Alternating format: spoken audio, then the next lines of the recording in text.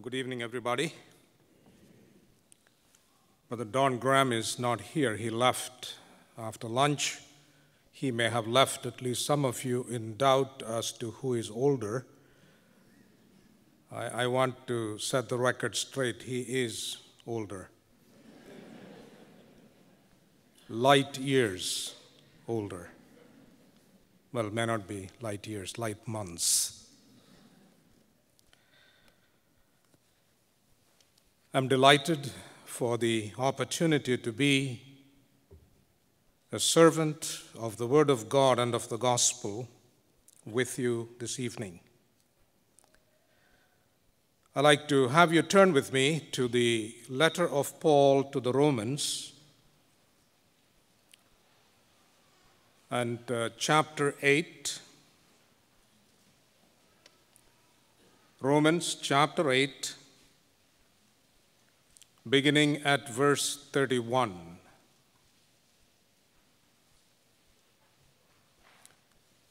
Romans 8 and verse 31 reads, What shall we then say to these things?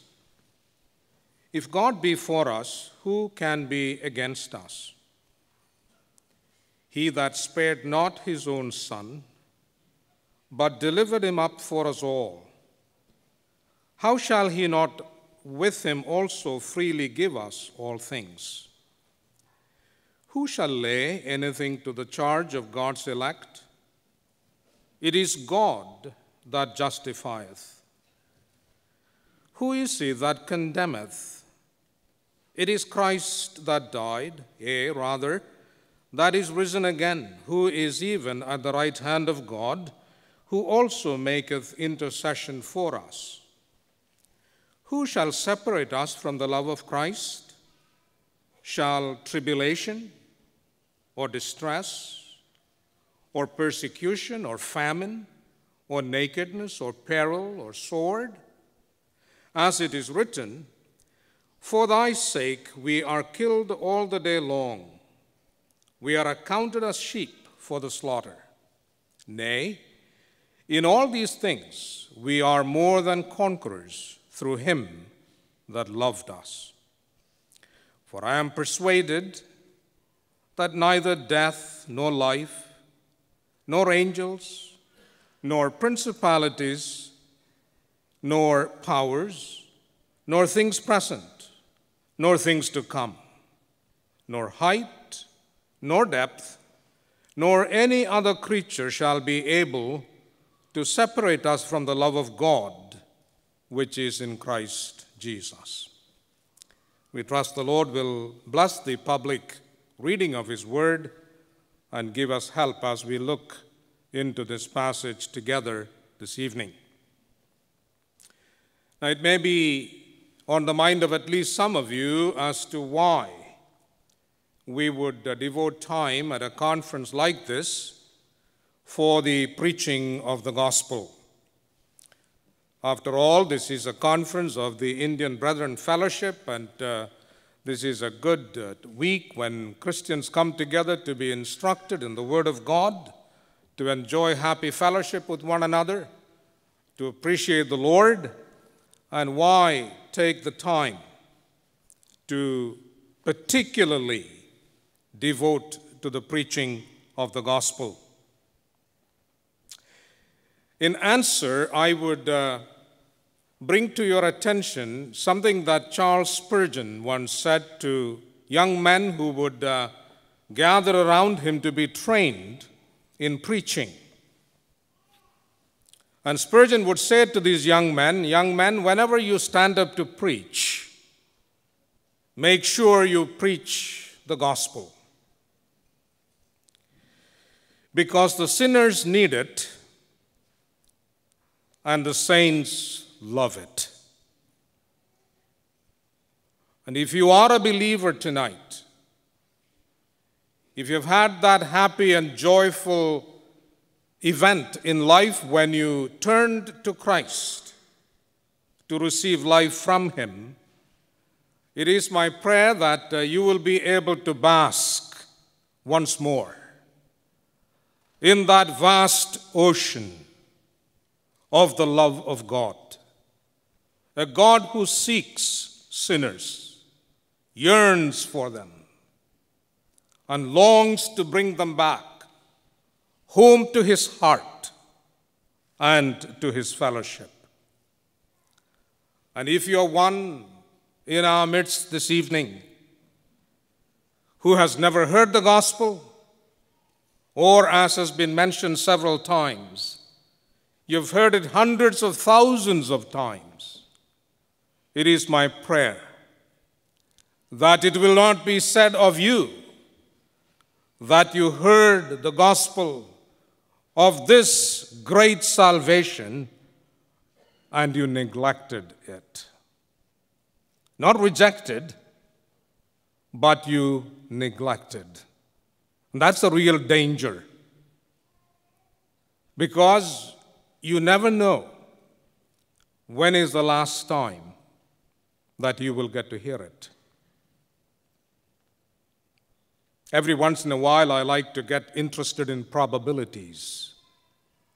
There is an interesting probability and uh, as far as probabilities go, it cannot get any better than this. And that is that one out of every one of us will die. And one of us is the next one of us to die.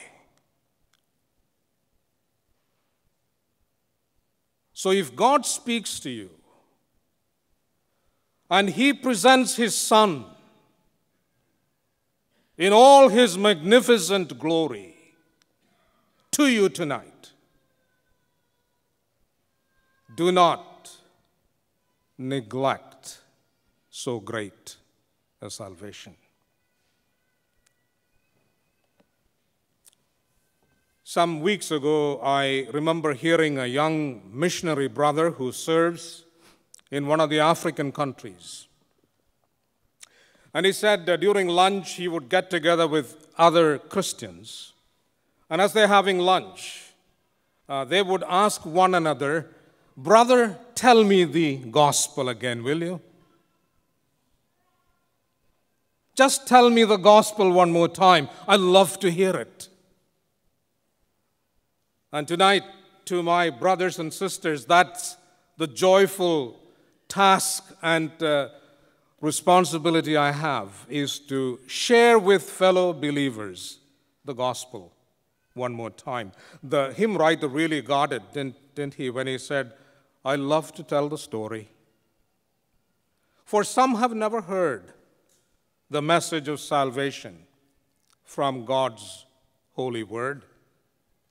I love to tell the story to those who know it best seem hungering and thirsting to hear it like the rest. I love to tell the story. Twill be my theme in glory to tell the old, old story of Jesus and his love. There is a real sad and serious possibility for any one of us to move among Christians and at a place like this, I'm well aware that maybe 99% of the people have grown up, been fortunate enough to grow up in a Christian home, where the truths of the gospel were well known. We grew up hearing it, and over time, we acquire the right vocabulary so we can converse in it. And then we see other people doing certain things in response to their own convictions about faith, like getting baptized and getting into uh, the local assemblies or churches and uh, kind of trafficking in Christian things. But never really confronting the reality of their own sinnership and the need the urgent need to cry out to God for mercy. A good brother I know who travels around and speaks in local churches, both in Canada and um, various part of, parts of America, uh, he was at our assembly for a weekend of meetings and uh, stayed with us. And after the last meeting on Sunday, he was spending the night uh, flying on to the UK the next morning. And we were just chatting about one thing or another. And he said he was down at an assembly in one of the states in the US for a weekend of conference ministry. And they too had devoted one meeting for the preaching of the gospel. And the brother preached the gospel, and uh, after the meeting was over, one of the elders of the meeting approached him in the back room. And he said, Brother, I don't know quite how to tell this to you, but uh, the Lord convicted me tonight and I need to get saved. And he was taken aback a bit. But then, seeing the sincerity of his heart, as the man was weeping, hard tears, saying, I need to get saved. And the brother talked to him and led him to the Savior. And the man was humble enough to acknowledge it to the whole assembly and got baptized before the weekend of meetings was over. Maybe you are one such, having always moved among Christians, knowing all the right words, singing the right words, serving maybe in the local church but never having set things right with God by responding to the claims of the gospel that Jesus Christ places upon you. You know, I was one such. I was fortunate enough to grow up in a godly home. So, ever since I could understand things and I could consolidate memory. I cannot remember a time when I did not know the facts of the gospel. And then, when I was around 13 years old, there was a brother who came through who was a high school teacher who also would do some preaching, gospel preaching, and uh, our family hosted him. And I can still remember it as though it happened yesterday. The, pre- the brother preached from 2 Samuel about David's son Absalom, a rebellious boy who rebelled against his father. And he came to a very inglorious end in his life. And word got to David about the death of his son. And he went up into the chamber and he began to make loud lamentations, heart rending cry Absalom, my son, Absalom, Absalom, my son, would that I had died in your place. Then the brother went on to talk about the fact that David's greater son, his more illustrious son, the Lord Jesus, he does not say, I wish I had given my life for you. But David's greater son, the Lord Jesus, says, I have given my life for you. I am the good shepherd and the good shepherd gives his life for the sheep. And that night, although I had known the facts of the gospel, I was convicted as the rest of the family was sleeping. I could not sleep. And I knew I had to do business with God and personally receive the Lord Jesus as my Savior. And by receiving Him, receive eternal life.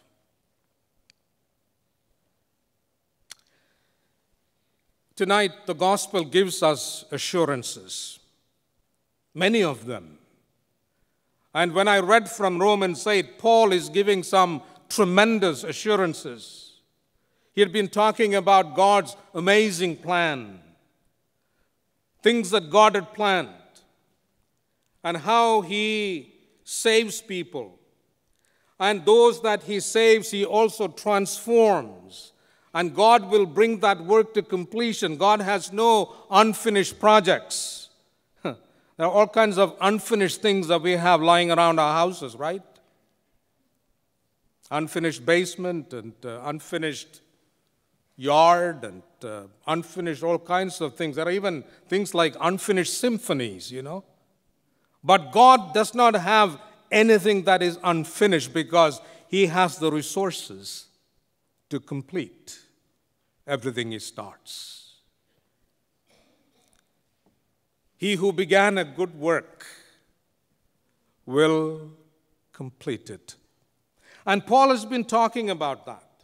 And the ultimate plan, when it is all done, those who are saved by the grace of God, God's design is that they should be like the Lord Jesus.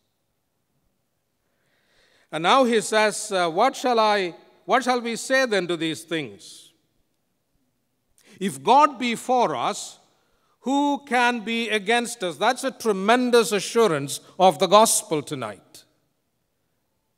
Just think of it the God of the universe, the God and Father of our Lord Jesus Christ, the one who called everything into existence, the God by whom everything now consists, he is for us.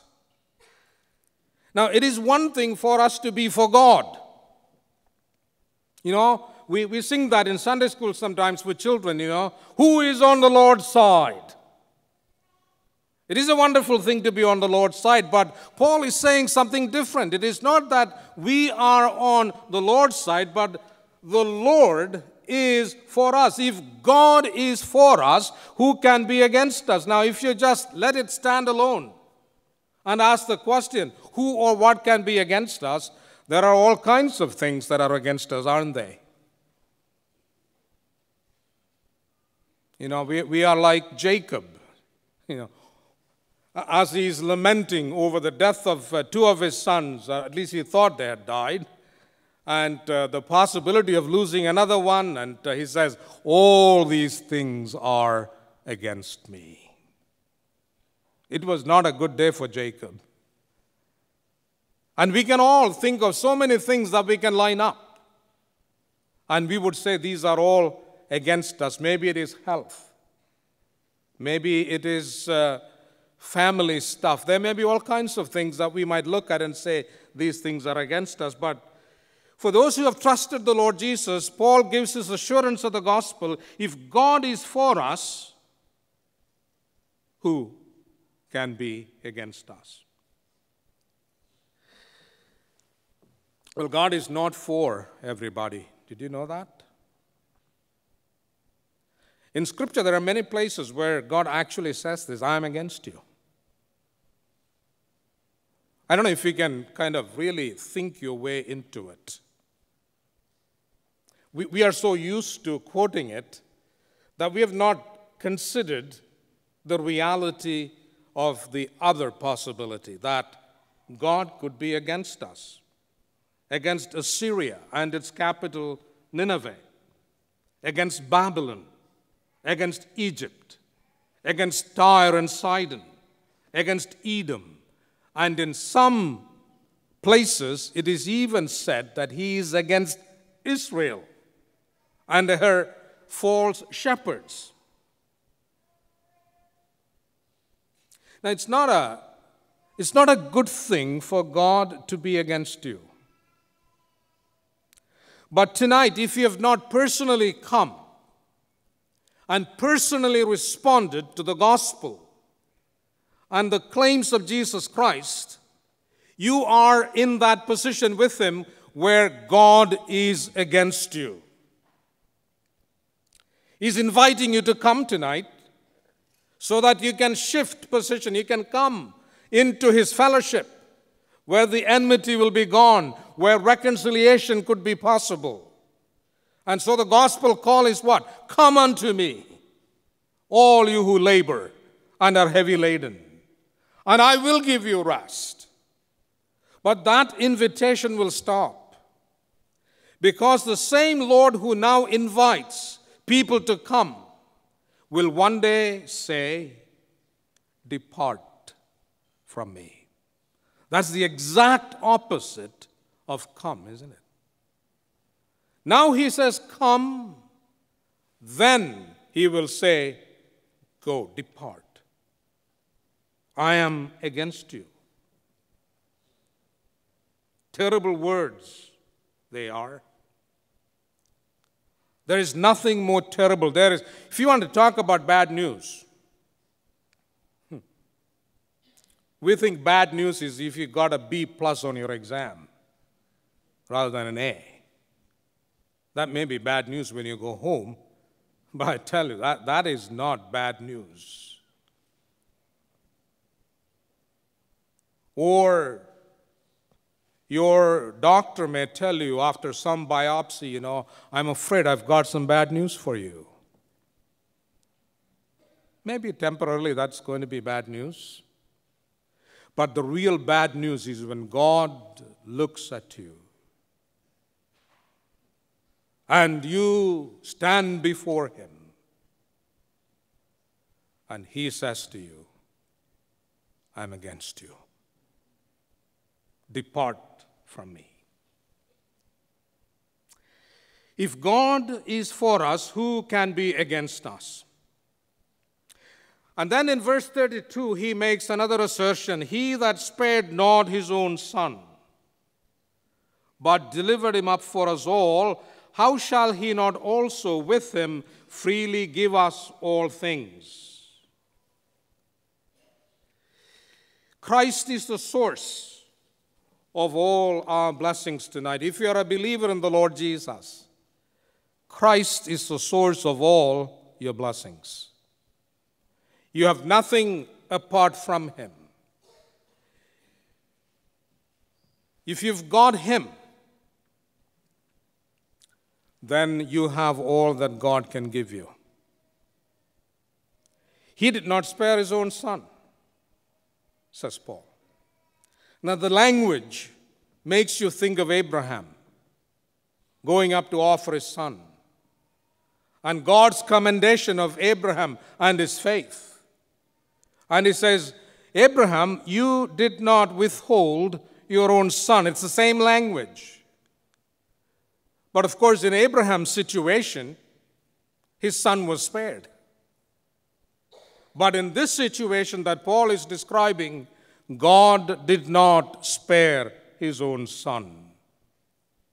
His very own son. He only had one son, you know. It's not like he had many of them and he could afford to give one up. He had one son. One son in whom he was so thoroughly and completely pleased. That son he did not spare and gave up. So that, in the words of the epistle to the Hebrews, he may bring many sons to glory. It's a good plan, isn't it? The one son he had, he gave. And Paul confidently asserts when he gave his son with him, he will give everything. He won't hold anything back because he gave the biggest gift. And if he gave the biggest gift, and that's an argument that Paul uses elsewhere in uh, uh, Romans, in chapter 5, for example. Now, the Lord Jesus uses that argument, going from the greater to the lesser, or sometimes the other way around, going from the lesser to the greater. But here, he's going from the greater to the lesser. He, in giving the Son, gave the greatest gift and all of the other gifts that are needed, He will give. He gave His own Son. God, somebody said, God bankrupted heaven. For what?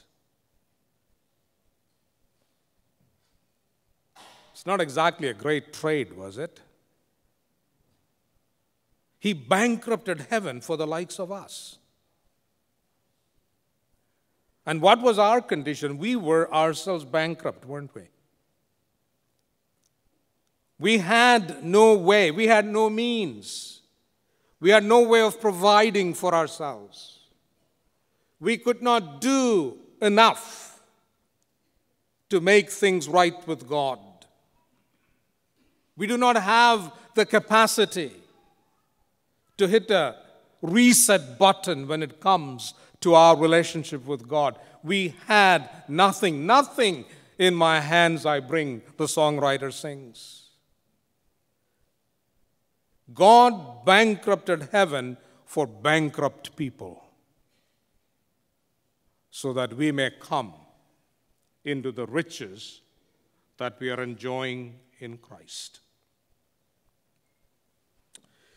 He did not spare his own son, but he delivered him up for us all. Now, there are many people who are reported to have delivered Jesus up in the Gospels. Judas delivered him up. The priests who tried him delivered him up. Pilate delivered him up. But really, who delivered Jesus to die? Not Judas for money, someone said. Not Pilate for fear. Not the Jews for envy. But the Father for love. So if Paul says he gave up his own son, it is because of his love for us. God, the King James says, commends or more aptly, God demonstrates his love.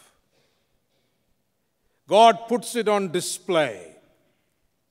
See, in the New Testament, when God wants to tell us how much he loves us, more than any other place, the place to which he sends us is the cross.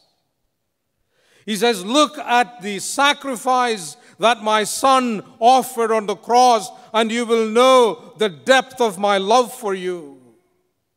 God demonstrates his love for us in that while we were yet sinners, Christ died for us.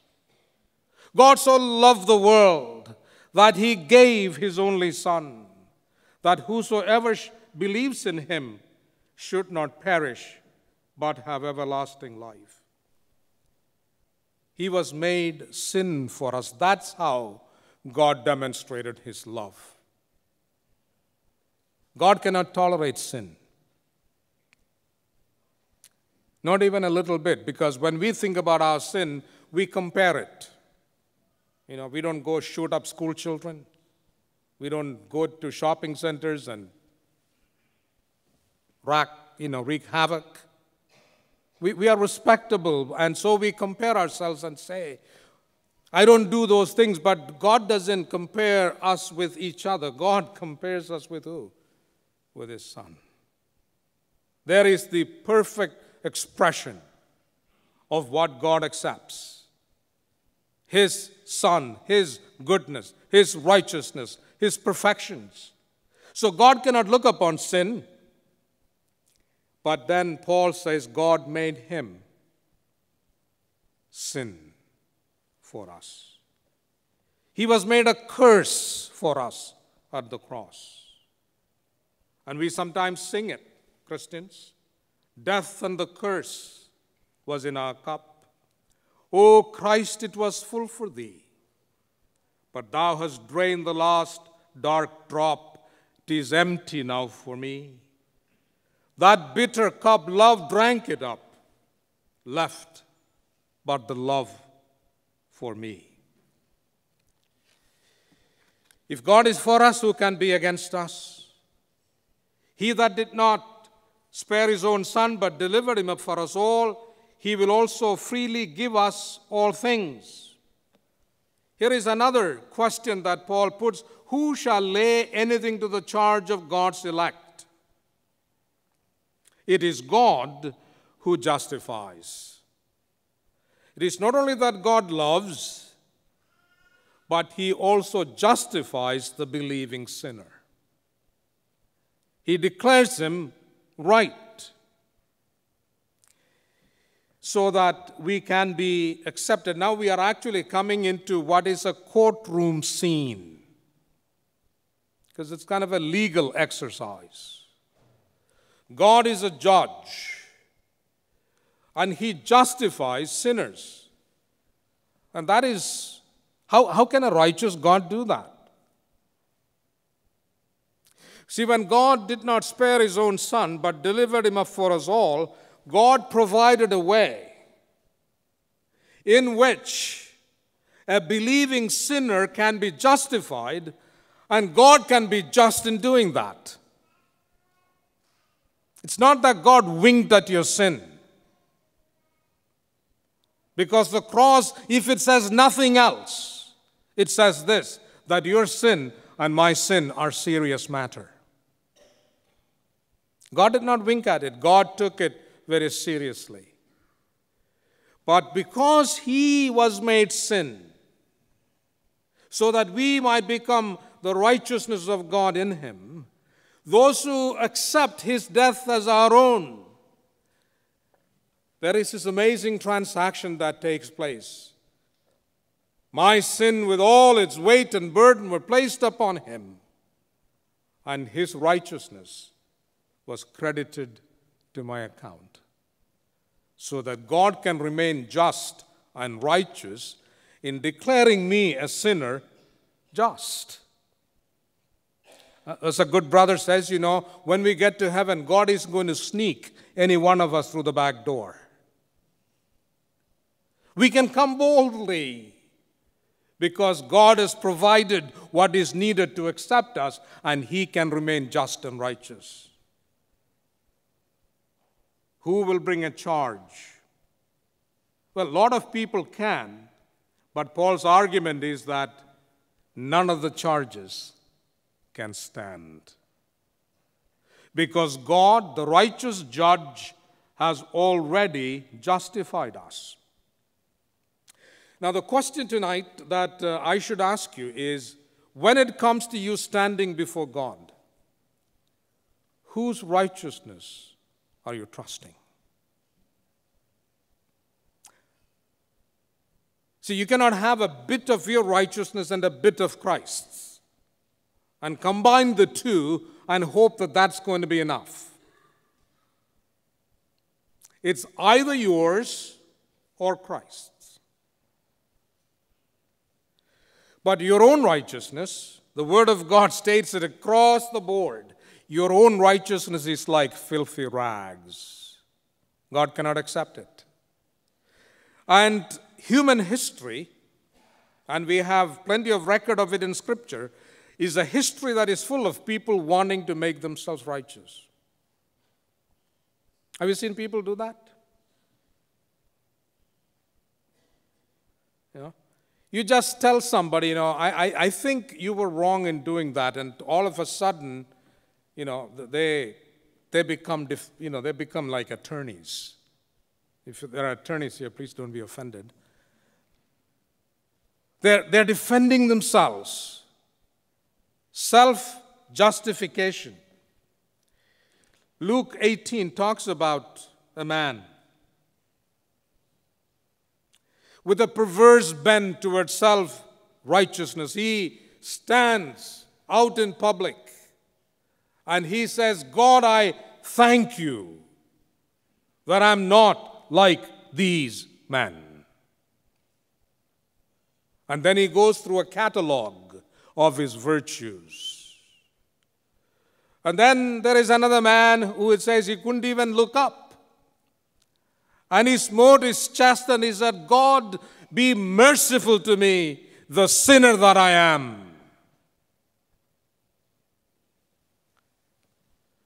And the Lord said, The second man went home justified. That's our word. he went home justified. Now, the first man went home condemned, not because he was a good man. The second man did not go home justified because he was a bad man. But the difference between the first and the second is that the one trusted himself to be just and righteous. He trusted his own works, his own efforts. Whereas the second essentially said, I have no claim to righteousness in myself. I have to trust you and you alone to set me right with you. Who shall bring a charge against God's elect? God justifies. The next question that he puts is in verse 34 Who is he that condemns? Now, if you remember the beginning of chapter 8, it is with that bold assertion that Paul begins chapter 8. Now, therefore, there is no condemnation to those that are in Christ Jesus. Not those who have done enough, not those who have made passing grade, not those who are decent enough to get in.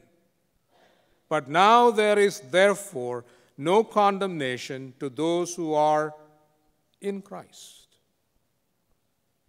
In Christ is our position. In Christ is our blessing. Who is it that condemns? Again, by itself, standing alone, there are all kinds of things that can condemn us our conscience, our heart, our neighbors, our spouses, our people in the church, people in society. There are all kinds of people who can condemn. Certainly, Satan and all of his allies. But for those who are in Christ, there is no condemnation. Why? Because it is Christ that died. It is Christ that is risen again. He is at the right hand of God. He makes intercession for us. There are four things that Paul mentions as to why being in Christ protects us from any condemnation. And then one last question Who shall separate us from the love of Christ? And then he goes through seven different things, this little list that he has tribulation, distress, persecution, famine, nakedness, peril, sword. If you think about it, all of them Paul faced. All but the sword as he's writing and soon the sword would come. And Paul is thinking about these, and uh, you know, those outside of Christ might look at those and say, well, these are things that could separate us from the love of Christ. But for Paul, these are things that drew him closer to Christ and his love. And then in verse 37, he says, In these things we are more than conquerors. We are super conquerors, is what actually the text says. We are thoroughly and completely conquerors through Him that loved us. And you would expect Paul to say, through Him that loves us, because Christ's love for us is ongoing, isn't it? In the book of Revelation, that's how it's described. Unto Him that keeps on loving us and washed us from our sins. Or in John's Gospel, it says, And having loved those that are his own, he loved them to the end. It's a continuous love.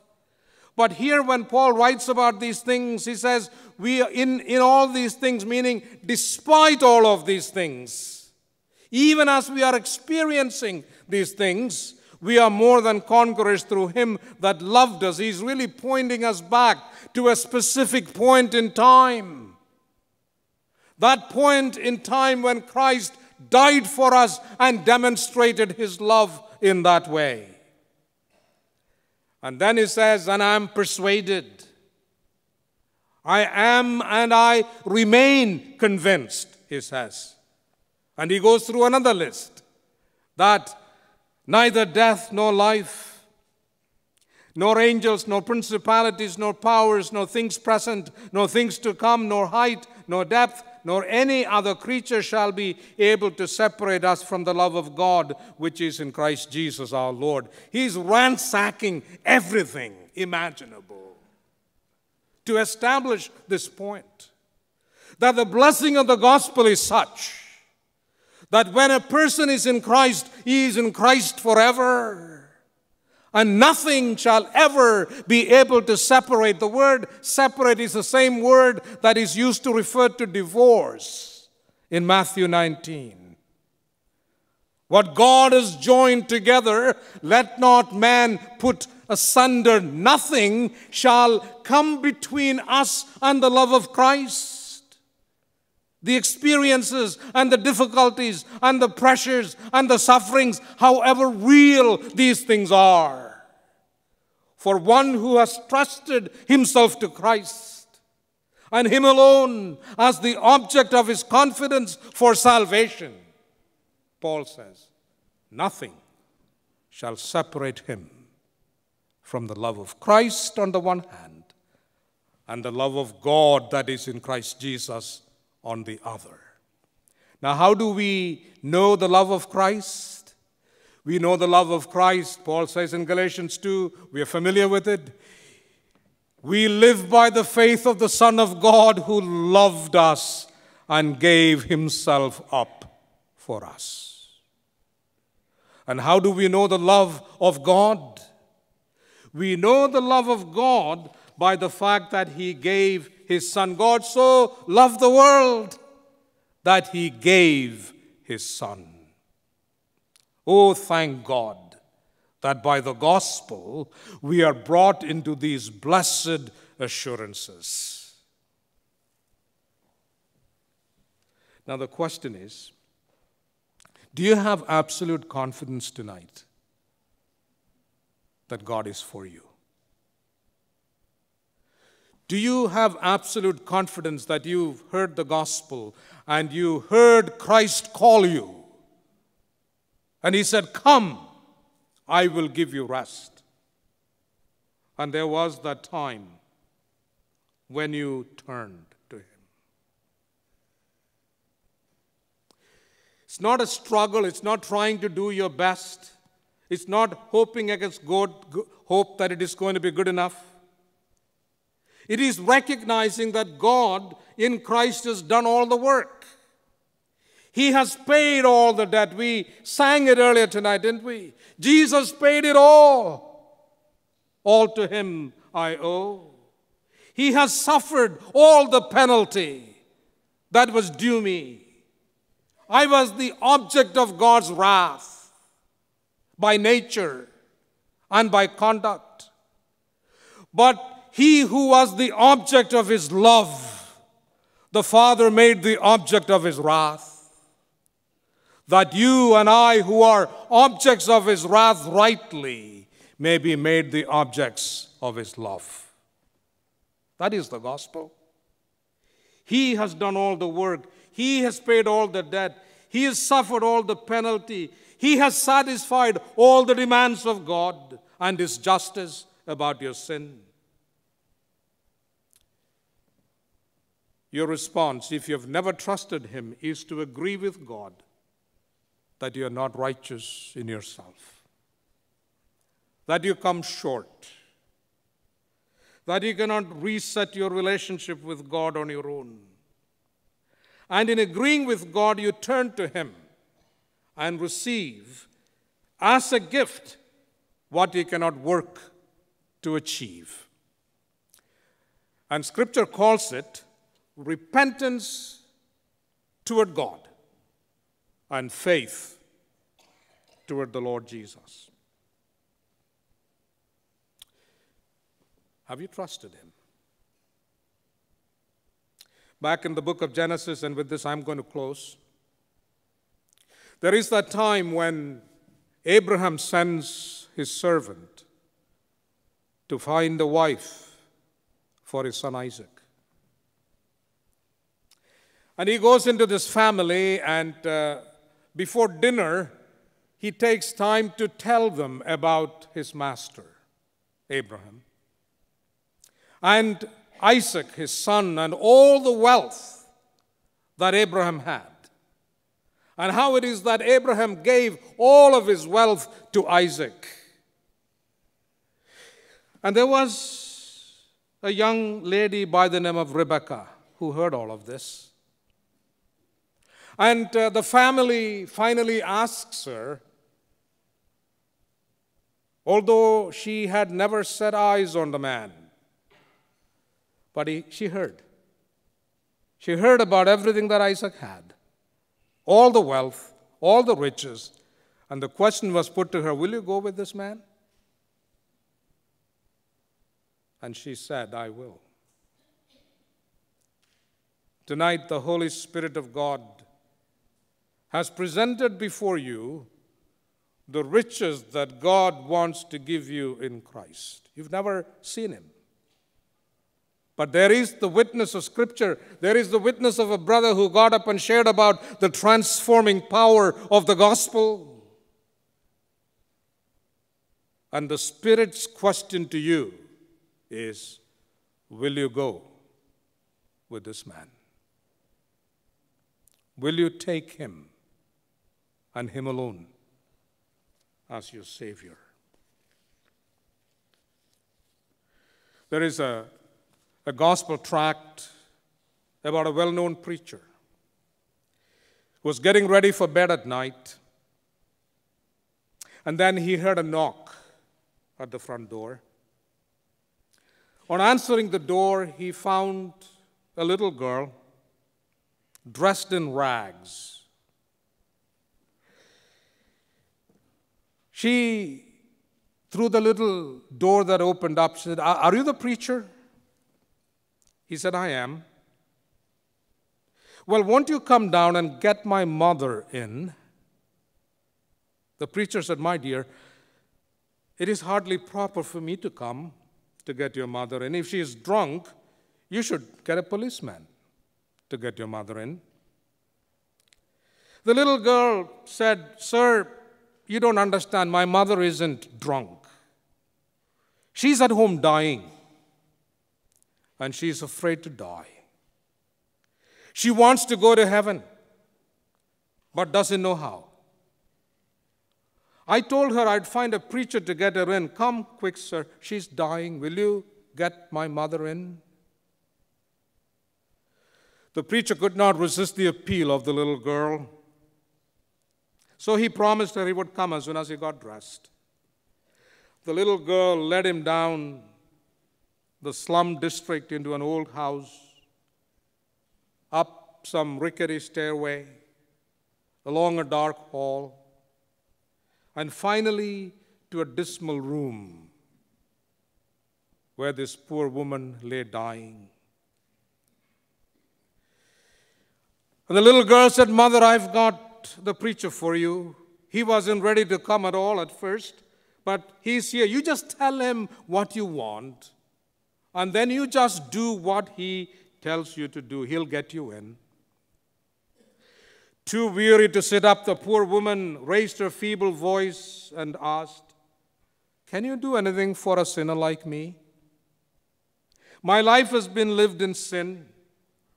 And now that I'm dying, I feel that I'm going to hell. But I don't want to go there. I want to go to heaven. What can I do now? And looking at her sin weary face, the preacher thought, What can I tell her? I've been preaching salvation by reformation, and it's too late for this woman to be reformed. I've been preaching salvation by character, but she hasn't any. I know what to do. I'll tell her what my mother used to tell me when I was a little boy. She's dying and it can't hurt her even if it doesn't do her any good. So, bending down besides this poor woman, the preacher began, My dear woman, God is very gracious.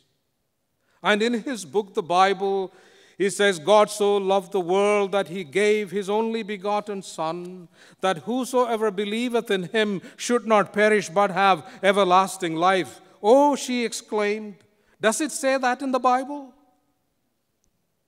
My, that ought to get me in. But, sir, my sin, my sin.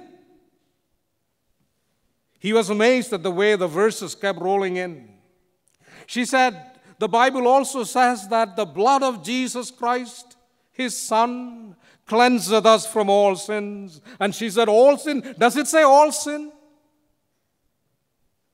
Well, that ought to get me in. And the man continued, he said, It says all sin, but it also says, This is a faithful saying and worthy of all acceptation that Christ Jesus came into the world to save sinners of whom I am chief. Well, she said, if the chief got in, I can come. Pray for me, sir. And the preacher bent down and prayed with the poor woman, and just as she was, she came to Jesus, who never turned anyone away. And that night she got in. In the process, added the preacher, while she was getting in, I myself got in. We two sinners, the preacher and the poor woman, entered salvation door together that night. Have you entered in? Is it well with your soul tonight? My sin, oh, the bliss of the glorious thought. My sin, not in part but the whole, is nailed to the cross. I bear it no more. Praise the Lord. Praise the Lord, O my soul.